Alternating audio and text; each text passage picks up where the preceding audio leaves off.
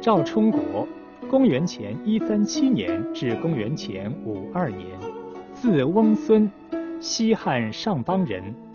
他一生历经汉武帝、昭帝、宣帝三代，是一位正直无私、忠心爱国、能骑善战、机智沉着、骁勇多谋、富有军事策略思想的将领。赵充国曾为西汉王朝的强盛外定疆夷、屯田安边、发展农业生产、保障丝路畅通、内建筹策、协助霍光立宣帝、稳定朝纲、累建奇功，被封爵迎平侯，谥曰壮侯。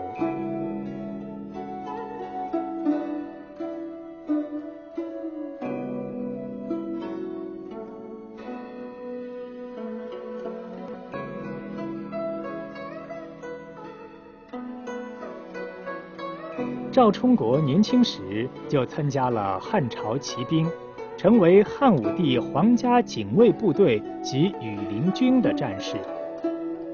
他边学兵法边研究军事，为人沉着勇敢，精通少数民族事务，有将帅宏略。在一次随二师将军李广利攻打匈奴的作战中，赵充国在汉军不利的境况下，率领一百多名敢死队战士杀出重围，全身负伤二十多处。汉武帝对他赞叹不已，大加封赏，拜中郎、迁车骑将军长史。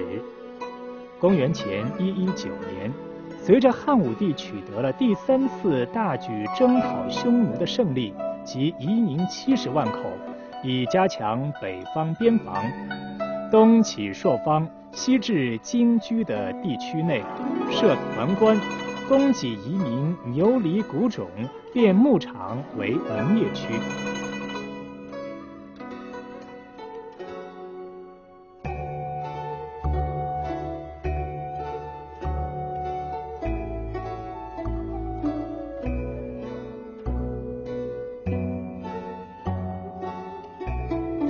赵充国是继李广、卫青、霍去病之后又一位西汉沙场明星。除了与老对手匈奴打仗外，他还比李、卫、霍三人多了一个敌人西羌。汉昭帝时代，赵充国指挥了平定氐人叛乱和征讨匈奴的军事行动，擒获了匈奴西岐王。升为护羌校尉、后将军。公元前七四年，因随大将军霍光定策迎立宣帝之功，封为迎平侯。不过，这些业绩要和他七十六岁高龄时干的另一大事比，就显得不那么瞩目了。汉宣帝时，西北的羌族闹事。当汉宣帝询问谁可担任总司令前往讨伐叛乱时，七十六岁的赵充国自信地说：“没有比老臣我更合适的了。”于是赵充国挂帅远征西北，也就是今天的甘肃青海地区。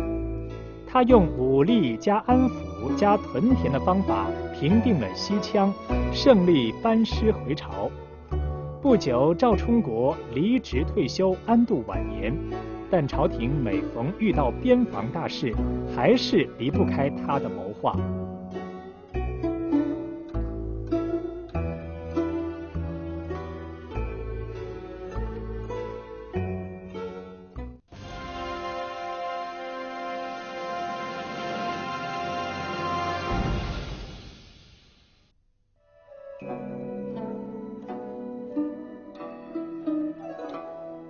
赵充国在中国历史上最有名的是提出了寓兵于农、耕战两利的策略，即屯田法。在黄水流域这块古老的土地上，至今还祖祖辈辈传颂着治边功臣赵充国的故事。他在河黄流域首创屯田，为这一地区社会安定、经济发展、汉文化迅速传播做出了历史性贡献。赵充国首创的屯田戍边，保持了西北边疆的稳定，同时对发展边疆农业也起到了积极的促进作用，开发了边疆的辉煌业绩，成为以后历代仿效的榜样，在中国历史上产生了巨大的影响。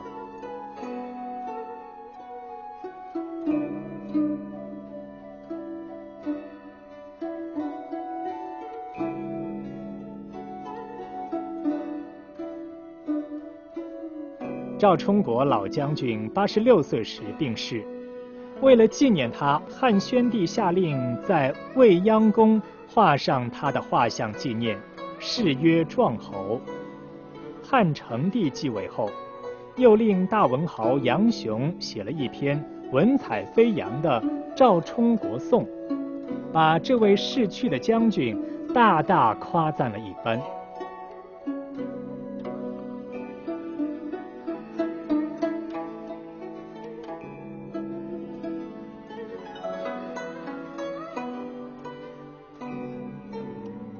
赵充国陵园坐落在清水县城西北一公里处的牛头河北岸第一台地，为甘肃省重点文物保护单位，总面积为七千九百一十四平方米，东西南三面呈粘土悬崖，北与李崖村八组居民相邻，牧区内占地面积一千四百四十四平方米，周围已征用土地面积。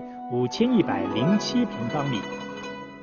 赵充国墓最早建于汉朝，宋代又置了祭田，广栽松柏，建立祭殿。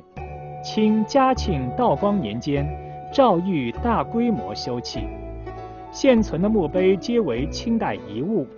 墓区经近年整修后，墓区现存封土冢，墓冢略呈半圆锥体。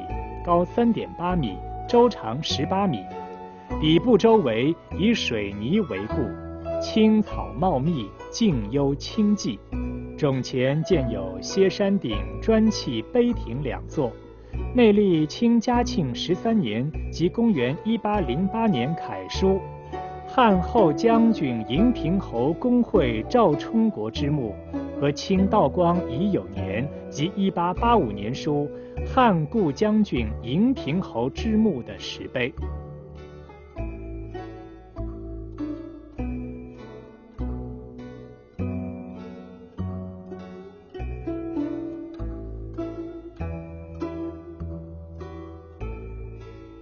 近年来，清水县又将部分宋墓葬、唐宋石刻迁移至墓区，并扩大墓区面积，辟为赵充国陵园。